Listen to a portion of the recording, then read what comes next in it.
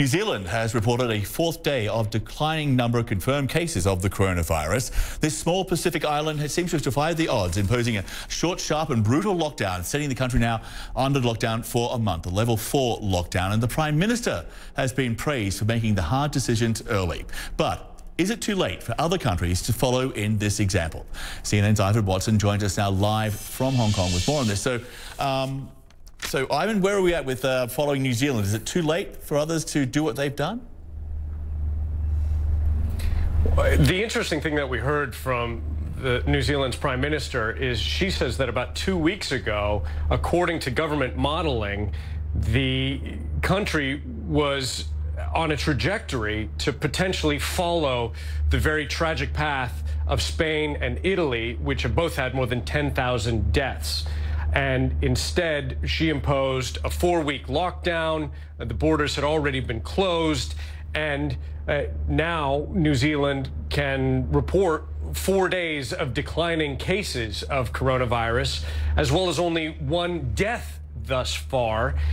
So New Zealand is setting a very ambitious goal, trying to eliminate the disease completely from its shores.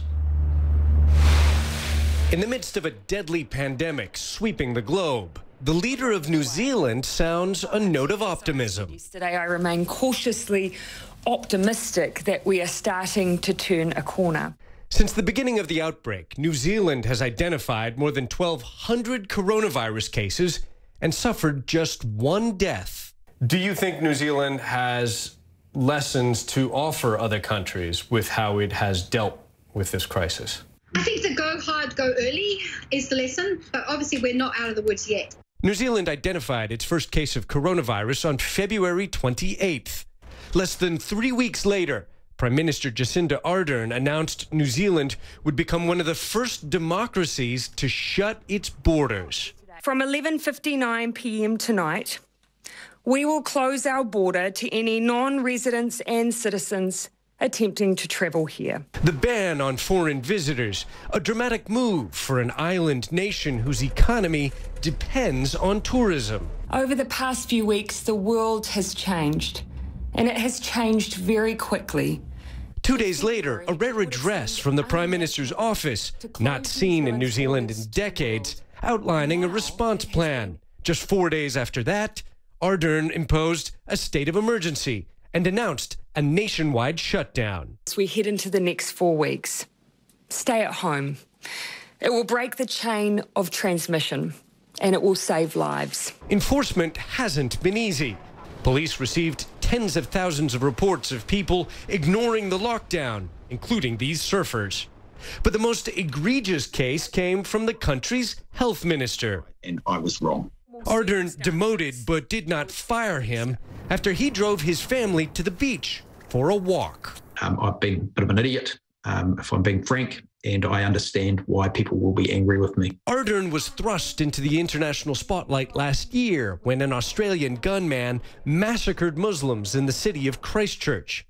72 hours after the deadliest mass shooting in New Zealand's history, Ardern announced a ban on semi automatic weapons while also consoling a traumatized nation. Evening, everyone. In this latest crisis, the 39 year old has shown her softer side, broadcasting live on Facebook in a sweatshirt and sending a message to children that despite the lockdown, the Easter Bunny is still an essential worker. And if the Easter Bunny doesn't make it to your household, um, then uh, we have to understand that it's a bit difficult at the moment for the bunny to perhaps get everywhere.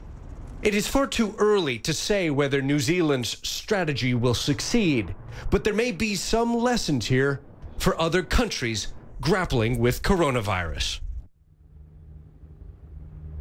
Now, John, you asked, could this be repeated elsewhere? Is it too late for other places? One public health expert I spoke with in New Zealand argues that you could, even in places like the U.S. right now, which is suffering so terribly, you could create islands of stability with isolation with contact tracing to try to stamp the disease out with this kind of 14 day incubation period. Uh, and it, it's notable that in New Zealand's case, though they've had some success, certainly over the last four days, uh, there are still two weeks of this strict lockdown ahead for the nation.